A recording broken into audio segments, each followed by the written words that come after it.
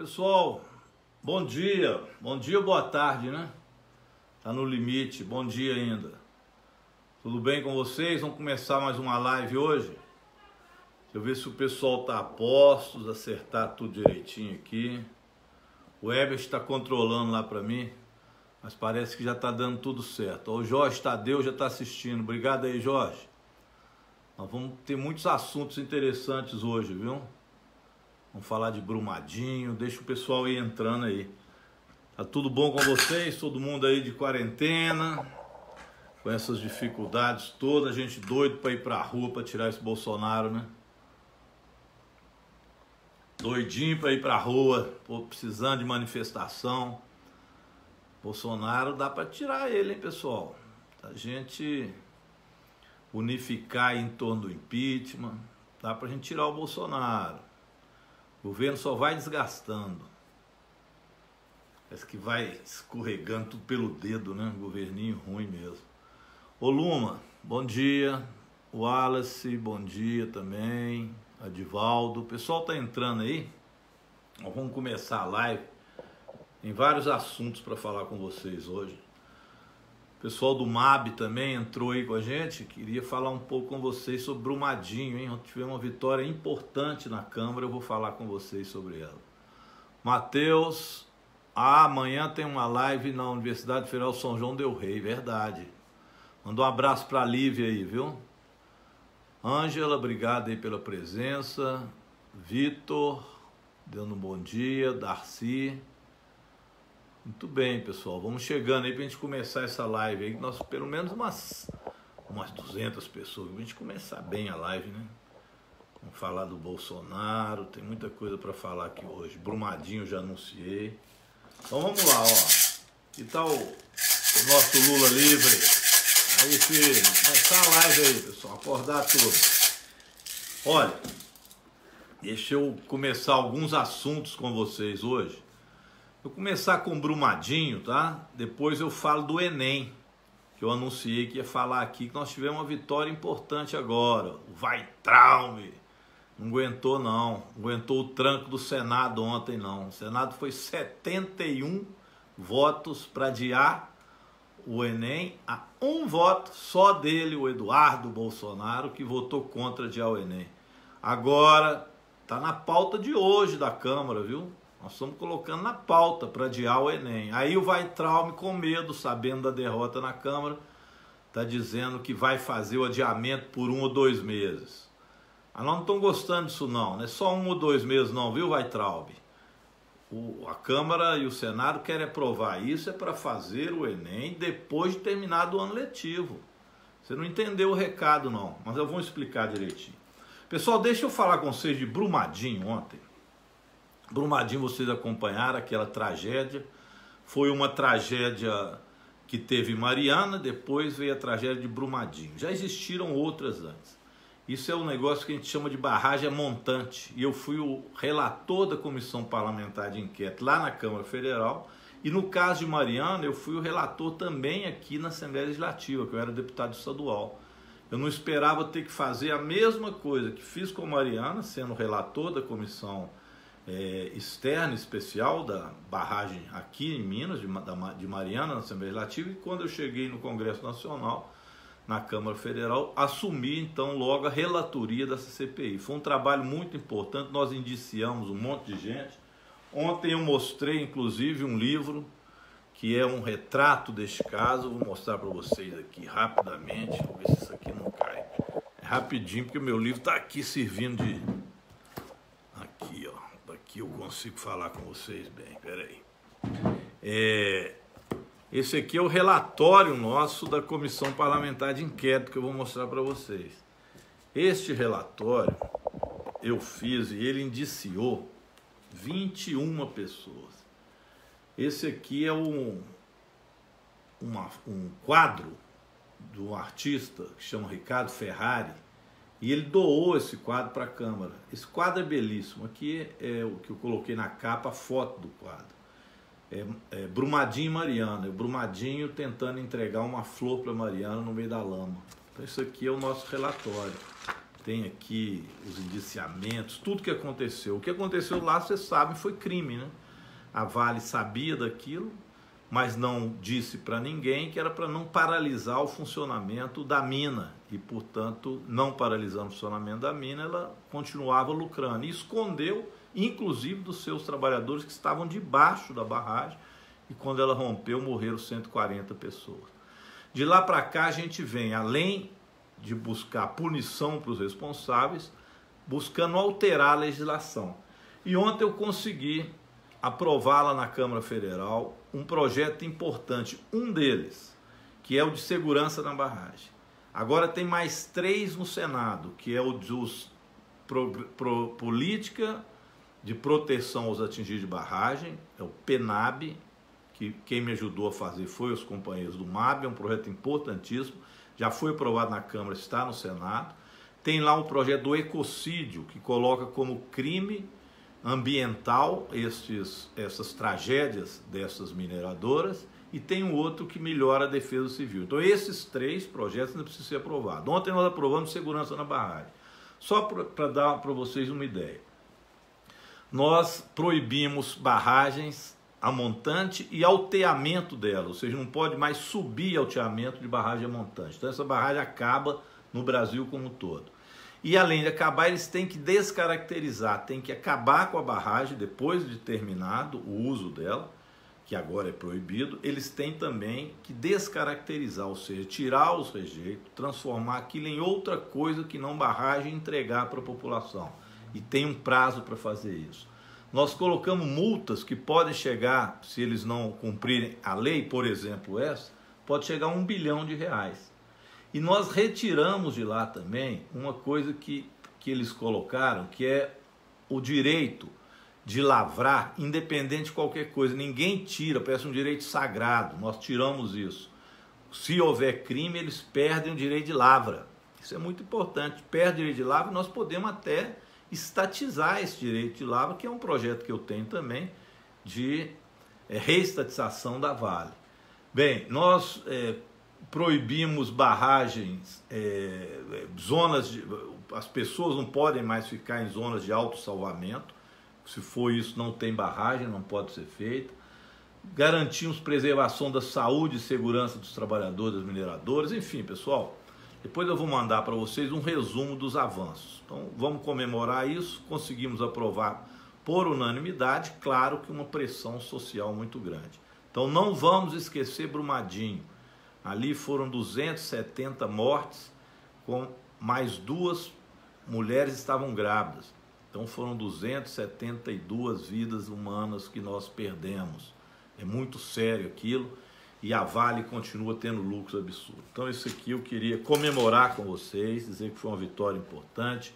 Eu estou muito feliz de ter sido o relator dessa CPI e ter conseguido essa conquista. É, pessoal, bem, Agora, infelizmente, as outras notícias não são boas. Né? Também no governo Bolsonaro, difícil ter notícia boa. Mas ontem passamos de mil mortes, né? 1.167 pessoas mortas do coronavírus. E no final do dia, o presidente Bolsonaro fazendo gracinha, debochando, como se nada tivesse ocorrido. E depois comemorando o número de mortes que teriam sido salvas, o número de vidas que teriam sido salvas. Mas fingindo que não sabia do número de mortos que vem pelo coronavírus. E infelizmente, nós ainda não estamos no pico da crise da pandemia, porque com estas investidas que o Bolsonaro dá contra o distanciamento social, as coisas tendem a piorar e ele não paga o salário de 600 reais, atrasa, não paga os estados e municípios, nós já aprovamos essa lei há mais de 10 dias, não coloca à disposição dos micro e pequenos empresários os recursos que também já foram aprovados na Câmara Federal. Então ele vai atrasando o processo para obrigar as pessoas a sair do distanciamento social. Essa é a julgada que o Bolsonaro está fazendo, precisa ser denunciada. E trata isso com desdém, com piada realmente é um presidente que nós precisamos de conseguir o impeachment dele. Eu vou dar notícia para vocês do impeachment amanhã. Mas o PT já está preparando a peça do impeachment. Nós vamos apresentar junto com o PSOL e o PCdoB, os três partidos. O PSB, PDT e Rede já apresentaram pedidos deles. Então nós vamos apresentar esse outro com mais 200 a 300 entidades do movimento social com pedido de impeachment e vamos fazer um grande ato, provavelmente quinta-feira. Vai ser o ato para apresentação do impeachment do Bolsonaro. Então essa é a notícia que eu tenho que dar para vocês que vai fortalecer o movimento do fora Bolsonaro. O Bolsonaro, com isso, vendo que o bicho está pegando, o Celso de Mello deve divulgar o famoso vídeo onde foi aquela reunião de malucos que eles tiveram de ministros, e o Celso de Mello deve divulgar. Aquilo vai colocar lenha na fogueira do fora Bolsonaro, seja por impeachment ou seja por denúncia do Supremo. O Supremo também pode denunciar, e ele denunciando e abrindo investigação, se a Câmara aceitar que se abra a investigação, ele é afastado por 180 dias. Então a possibilidade de retirar o Bolsonaro, ela está virando uma possibilidade concreta. O que, que ele tem feito? Se aproximando do Centrão. Vocês viram, né? Entregou para o Centrão o, funde, o, o, o, FNDE, o Fundo Nacional eh, de Educação. Esse FNDE é um fundo de aproximadamente 54 bilhões. Ele entregou para pessoas ligadas ao Centrão para ter o controle disso. Então ele está tentando fugir do impeachment, se juntando a Roberto Jefferson, se juntando àquela quadrilha que a gente já conhece. Roberto Jefferson é um quadrilheiro. E o Bolsonaro se junta a eles para tentar ter votos o suficiente para não ter o impeachment, porque o Centrão tem lá uns 200 votos. Então ele acha que vai controlar a partir do acordão que está fazendo com o Centrão. Então vamos ficar de olho é, em relação a isso. Por falar é, em Bolsonaro, Centrão, etc., vocês viram que hoje saiu mais uma ministra dele. Agora é a Regina Duarte. Foi embora a Regina Duarte, durou três meses. Eu vi aqui na, na internet uma pessoa comentando que a, a duração dela foi de um pum.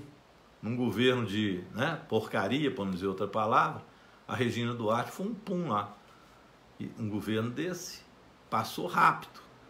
Agora, nada comemorar dela sair, não, porque ele já está nomeando outro, tão ruim quanto, ou pior, né? ele consegue achar pessoas pior ainda que a Regina Duarte para colocar lá. Dá uma saudade do Lula, né? Hein? Uma saudade do Gilberto Gil. Vocês lembram Gilberto Gil indo na ONU, cantando, pegou a viola lá e cantou o mundo inteiro cantando com o Brasil. Era outra coisa, na né? política internacional, a gente tinha um ministro que tinha uma projeção internacional igual Gilberto Gil.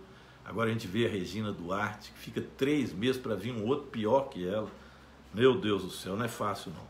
Bem, pessoal, por fim eu queria comentar com vocês dois assuntos. O, o Enem eu vou falar daqui a pouco, mas falar para vocês da Amazônia também. Aquela medida provisória 910, que a MP da grilagem ficou assim chamada, nós conseguimos derrotar. Ela caducou, perdeu a validade. Foi uma ação nossa da bancada do PT e da oposição e da esquerda, guerrida, nós impedimos. Ela, na verdade, aumenta a propriedade de terra para grileiros. Então, os grileiros que hoje você pode, um pequeno produtor, ter até quatro módulos de terra que ele pode é, colocar para si, pode é, ter o, o, a regularização fundiária, eles estão passando para 10 módulos, o que é muito grande no Brasil como um todo, e isso incentiva quem fez grilagem a ficar com essa terra para eles. Esse é o projeto da medida provisória que o Bolsonaro mandou para lá, a chamada MP da grilagem, que juntou artistas do Brasil e do mundo inteiro contrário. Agora, derrotada a MP, eles querem apresentar um projeto de lei Talvez entre em pauta hoje. Nós estamos lá tentando resistir. Então, vocês puderem, mandem também para os deputados para não aprovar o PL da grilagem. Era o MP da grilagem, agora o PL da grilagem. Então, essa é uma luta que nós temos que, estamos tendo lá. Por fim, deixa eu falar com vocês do Fundeb. Olha, os estudantes, vocês viram aí essa briga, né? O, o, o Bolsonaro querendo manter a data do Fundeb, mesmo com a pandemia o que prejudica os estudantes de maneira geral, em especial os estudantes mais pobres, que teriam que fazer o Enem sem estar agora estudando por causa da pandemia. Para aqueles que têm em casa condições de estudo, condições melhores, faz um efeito menor. Mas para quem é mais pobre, está em escola pública, as escolas estão fechadas, como que ele vai participar desse processo de Enem? Então, evidentemente, vai prejudicar a grande massa dos estudantes brasileiros. E o Weitraub não está nem aí. Diz que para ele tanto faz que tem que passar são os melhores mesmo, assim ele fala, então os outros que são mais pobres, que têm mais dificuldade, que se dane. Que é a política que o governo Bolsonaro tem tido para tudo nesse mundo. O que demonstra que é um governo que não pode ter continuidade, porque é um governo que não protege o povo brasileiro, e sim as elites brasileiras. Bem, ontem no Senado foi apresentado um projeto de lei que foi aprovado. E esse projeto de lei, ele adia o Enem. Foi uma campanha belíssima que foi feita também pela Uni, pelos estudantes, pelos professores, educadores. E nós conseguimos aprovar no Senado, a bancada do PT teve um papel importante, nossos senadores, por 71 a 1. Só um senador.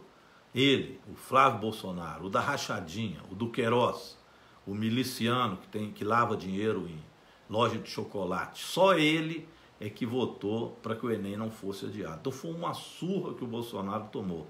Nem o tal do Centrão no Senado conseguiu segurar. Nem os bolsonaristas tiveram coragem, tamanha pressão que os estudantes fizeram. O que demonstra que esse Bolsonaro é muito garganta, mas quando o povo junta, ele não aguenta nada.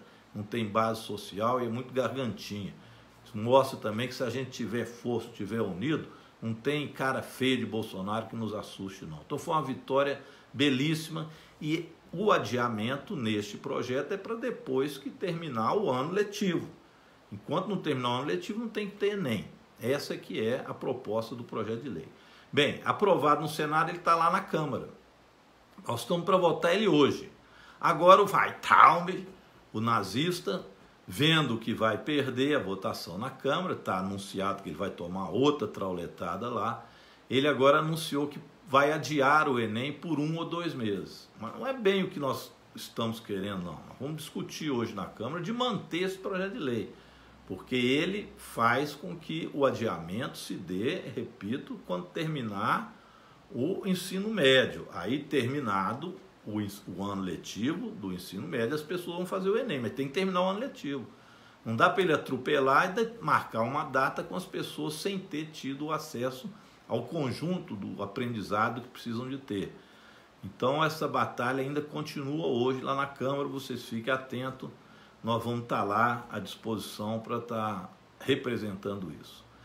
Bem, então eram essas notícias que eu queria dar com vocês, mas é claro, tá aqui, Zema, vulgo, eu ovo, aumentou em 150% a conta da CEMIG. Aqui está um monte de denúncia contra o Zema. É a Carla, minha esposa, está chegando aqui, já já já já estamos indo também para o almoço ali, né? Não posso convidá-los, mas estamos aí. Pessoal, é o seguinte, é, eu falava do Zema, tem muita gente perguntando. O Zema ficou de anunciar agora, 12h30, está quase na hora, a escala de pagamento do servidor público. Olha, primeiro, o Zema tem dinheiro para pagar. Isso é muito importante em especial a educação, que ele tem dinheiro do Fundeb, o Fundo de Desenvolvimento da Educação Básica, eu já falei isso com vocês. A deputada Beatriz Cirqueira, presidente da Comissão de Educação, e o Aurívio, que é o professor que preside o Fundeb, já denunciaram que o dinheiro está na conta, o dinheiro do Fundeb, e que o Zema pega o dinheiro da educação e gasta em outras coisas. Portanto, ele comete crime em desvio do dinheiro do Fundeb. É isso que o Zema tem feito. Bem, ontem ele anunciou que ia pagar o 13 terceiro que está atrasadérrimo. E hoje diz ele que vai anunciar os recursos e a escala de pagamento. Ele faz hora com o servidor público ele tem este recurso que eu falei do Fundeb e ele devia pressionar o Bolsonaro para o Bolsonaro sancionar a lei que nós já aprovamos, tem duas semanas na Câmara, que são os recursos para os estados e municípios de socorro aprovado pela Câmara Federal. O Bolsonaro faz hora com isso para pressionar os estados para que eles é, acabem com o distanciamento social, que é essa política genocida do presidente Bolsonaro. E o Zema, como é um puxa-saco dele, fica dando declaração, ao invés de pressionar para sancionar, como está fazendo outros governadores, ele fica de pires na mão, fazendo acordos ruins para o estado de Minas Gerais e, mais do que isso, querendo que no bojo desse projeto se faça um arroxo ao serviço público, aos servidores públicos para frente. Então o Zema faz um desserviço a Minas Gerais, ao nosso serviço público, à educação, à saúde, à segurança pública. O Zema é um governador que está é, surpreendendo para baixo, se é que pode, né? Se alguém tinha alguma expectativa no Zema, ele piorou a expectativa dele. E ele tem esse recurso. O que vai ser enviado para Minas Gerais é em torno de 12 bilhões. São 7 bilhões que ele deixa de pagar de dívida com a União, que está nesse projeto que nós já aprovamos na Câmara e no Senado. 3 bilhões de recursos livres e mais 2 bilhões para a saúde, onde também do, da saúde ele pode pagar os servidores de saúde. Então o Zema está tentando, na pandemia, economizar, arrochando o servidor público e querendo passar a ideia de que Minas Gerais só tem jeito se privatizar a se privatizar a Copasa, o que é uma mentira do Zema. Então é preciso também denunciar o governador Zema e o conluio que ele faz com este Bolsonaro. Me lembra o conluio do Azeredo, quando foi governador, com Fernando Henrique. É a mesma coisa, o mesmo puxa-saquismo. O Azeredo vendeu bem de crédito real, vendeu a Semig, que depois o Itamar, e hoje o dei nisso que eu fui relator do processo, retomamos a Semig para gente. Mas o, o que ele faz é se vincular, como o Azeredo fazia, o Fernando Henrique, a tudo que o governo federal queria, mesmo sendo prejudicial para Minas. É o que o Zema está fazendo. Então nós estamos de olho também no Zema. Pessoal, é isso então. Um bom almoço para todos. Continuem firme na luta. Eu vou passar para vocês amanhã nós vamos fazer uma outra live e eu vou passar para vocês como é que está é, a questão relativa ao impeachment do Bolsonaro que nós vamos apresentar, tá bom? Não esqueçam de Brumadinho, já dei notícia disso, foi uma vitória muito importante que nós tivemos ontem. O Milton está mandando aqui um fora Bolsonaro. Pessoal, põe aí um fora Bolsonaro bem grande, hein? Vamos tirar esse Bolsonaro. E a ideia é essa aqui, ó, que o Manuel falou, é fora a chapa do Bolsonaro e Mourão. Por que, que pode ser as duas? Foi bom o Manuel colocar isso. Vocês viram agora que o tal suplente senador do Flávio Bolsonaro, ele fez uma denúncia de que a Polícia Federal, no segundo turno das eleições, para ajudar o Bolsonaro, simplesmente deixou de fazer a denúncia da rachadinha e das falcatruas do Flávio Bolsonaro e da família Bolsonaro. O próprio presidente Bolsonaro é acusado de roubar gasolina na Câmara Federal. Ele pegava nota fria e se você pegar durante um mês, dava para ele dar a volta na terra. E ele ia nos postos de gasolina, isso o presidente Bolsonaro como deputado. Pegava nota fria de gasolina para apresentar na Câmara Federal. É coisa de bandido, de ladrão de galinha.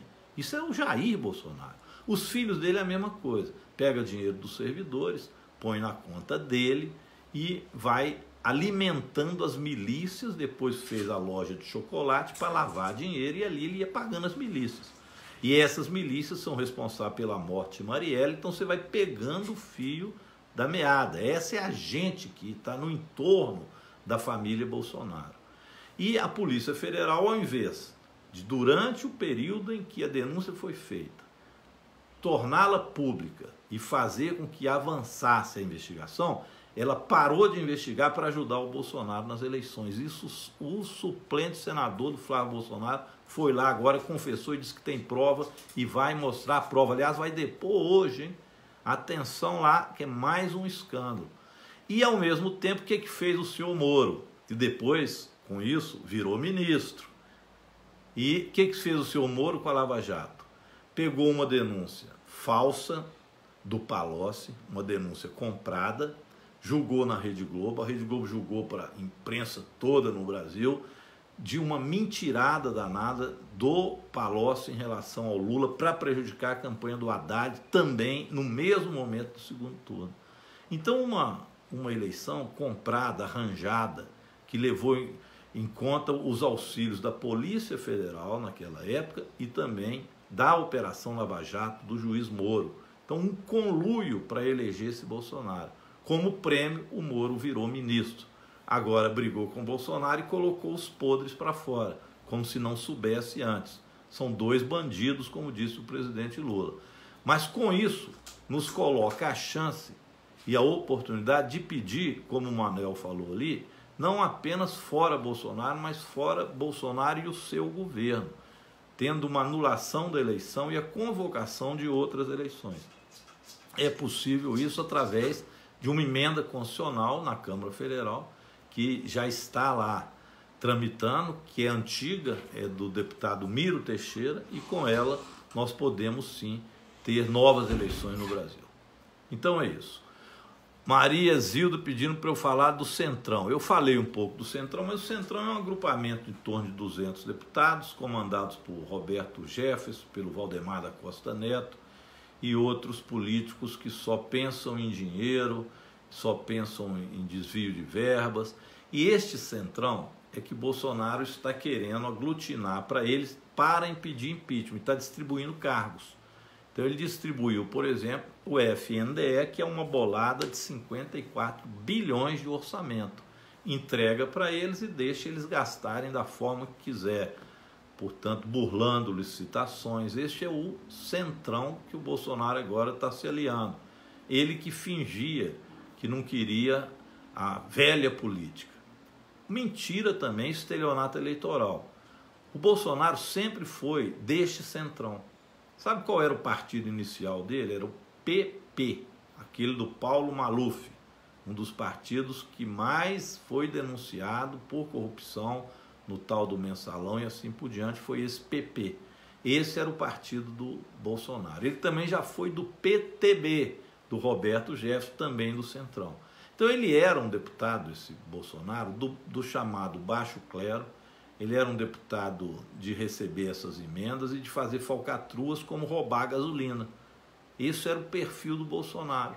E falava asneiras, incentivava tortura, falava para o público dele, geralmente milicianos, que ele queria inclusive legalizar as milícias, era a bandeira do Bolsonaro. O impressionante é como é que ele conseguiu virar presidente da República. Foi mesmo esse processo de golpe. E teve a Aécio Neves, que não respeitou o resultado eleitoral, os tucanos juntaram com o DEM, então a direita, querendo tirar o PT, deram o golpe na Dilma e, ao invés, evidentemente, deles se colocarem para disputa, eles criaram o Bolsonaro. Agora está todo mundo aí passando aperto com esse presidente e é preciso retirá-lo. E o Centrão agora colocou o seu preço. Bolsonaro, para você não ser retirado, tem um preço entrega FNDE, entrega isso, entrega aquilo. Então é isso. O Agilson está dizendo aqui que a esquerda toma tubaína e que o Bolsonaro toma outras coisas. Não vou nem falar o que, que é, mas eu concordo, viu? A Thelma também, dizendo que o Maia está dando toma lá da cara. O Maia parece estar com medo, né? Ele não coloca o impeachment, vai ter que colocar. Nós vamos eh, começar a pressionar o, o, o Maia para que ele possa colocar o, o, o impeachment. Ah, tem um coxinha aqui, ó, PT nunca mais. Aqui, ó, coxinha. Cuidado, viu, coxinha? O dia seu está chegando já, porque é só desastre esse Bolsonaro. Cuidado aí, não vai tomar esse remédio que ele manda, não, que isso aí tá matando gente adoidado. E, e ele tá mandando vocês tomarem, vê se não obedece ele não, senão você morre também, o coxinha. Cuidado aí com o Bolsonaro, não escuta ele não. O Milton está dizendo fora Bolsonaro. O nível, pessoal, o número de coxinha de bolsonarista aqui, ele diminuiu assim. Antigamente eu abria uma live, vinha muito robô bolsonarista. Agora não, vem um ou outro que aparece. O gado o gado está indo para o abate. A Thelma falou que o gado está indo para o abate, mas é mais ou menos isso mesmo. E cada vez o gado diminui mais. Então é, nós vamos conseguir sim. Ó, Caratinga, o Gilson, é, o, é o Gipão, o Gilson, um abraço, viu? Caratinga tá com fora Bolsonaro, pressionar o Maia, Sandim falando fora gado. É, o gado, o gado, coitado, o gado tá perdido. E cada vez as manifestações diminuem mais. Então, pessoal, a nossa live hoje foi isso, hein? Nós lamentamos aqui o número de mortes, passou de mil, foram mil, quase 1.200 mortes no dia de ontem. e, com, e o, do, pelo coronavírus, Covid-19, e o Bolsonaro rindo disso e fazendo piada. Isso foi um primeiro assunto nosso. Isso leva ao reforço que eu falei do impeachment dele, da ação do STF e do impedimento da chapa para a gente ter novas eleições no Brasil. Esse foi um assunto que nós tratamos. Eu falei aqui de Brumadinho, comemorando a vitória importante ontem. Eu que fui o relator da CPI, eu tenho muito orgulho de ter sido o relator dessa comissão parlamentar de inquérito. Quando acabar esse processo de pandemia, vocês vão buscar comigo lá no meu escritório em Belo Horizonte ou lá em Brasília um exemplar deste livro que eu pedi para fazer do relatório, para vocês conhecerem a história toda de como se deu essas tragédias criminosas da Vale em Brumadinho. É um assunto importante, nós vamos falar disso um dia com mais calma, mas que nos leva a crer que vamos ter que fazer um movimento para reestatizar a Vale. Tem um projeto de lei que fala disso, que é um plebiscito pela reestatização da Vale. Um dia nós vamos conversar sobre isso e tem um projeto também de taxar as grandes fortunas, que é a saída para a crise. Taxar as grandes fortunas, reestatizar as empresas estratégicas para a gente ter um processo de retomada de crescimento a partir do Estado brasileiro. Isso aqui é fundamental. Aliás, a crise do coronavírus está demonstrando que a iniciativa privada e o mercado são incapazes de socorrer o nosso povo. Nós precisamos da presença do Estado e esse Paulo Guedes não entende nada disso, ele e Bolsonaro, e continuam querendo que as pessoas morram para recuperar o lucro. O Bolsonaro fala tanta besteira nisso que ele cita a Suécia. A Suécia foi dos países lá nórdicos o que mais teve mortes e o que a economia está mais afetada, viu, Bolsonaro, seu burro? Procure estudar um pouco Vê se, vê se você se adapta, pelo menos, ao estudo de alguma coisa da ciência, ciência política, ciência econômica, ciência social, ciências da saúde, ciências humanas.